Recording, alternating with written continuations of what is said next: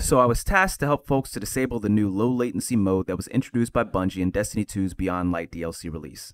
Apparently, the low latency mode is causing some folks issues with maintaining their FPS in-game, their frames per second.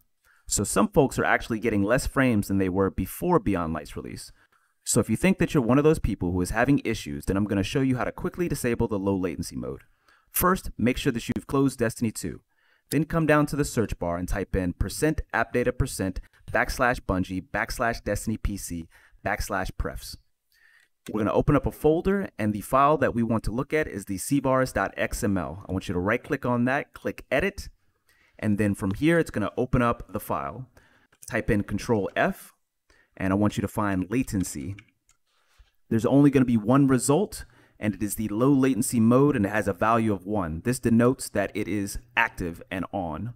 So I want you to backspace, delete that, type in 0 to disable the low latency mode, and then I want you to click Save, Exit, and then the next time that you open up Destiny 2, uh, the low latency mode should be disabled. So I hope that helps some folks out, and if anybody has any questions or feedback, feel free to drop a comment below. I hope that everybody's enjoying Beyond Light, and I'll check you Starside.